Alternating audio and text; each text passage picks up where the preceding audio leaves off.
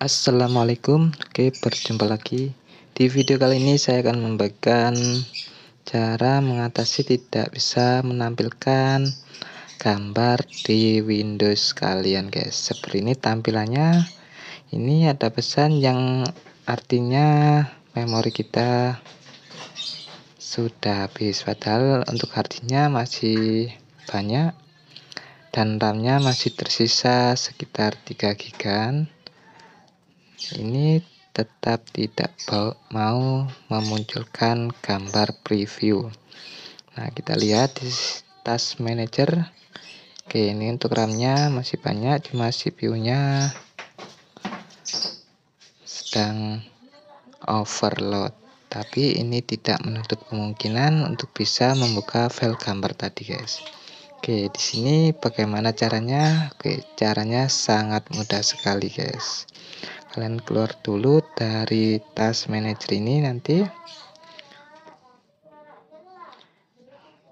Kita lihat masih belum bisa untuk membuka file preview gambar. Nah di sini kalian masuk ke Windows kemudian kalian ketikkan di pencarian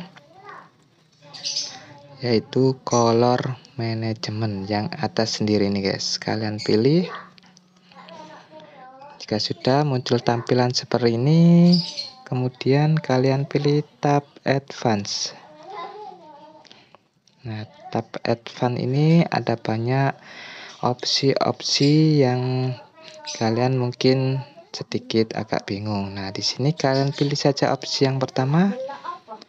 Kemudian kalian scroll ke atas sampai yang nama menemukan yang namanya Aqua Swap Standard. Nah, di sini kemudian kalian pilih close dan langsung kalian refresh.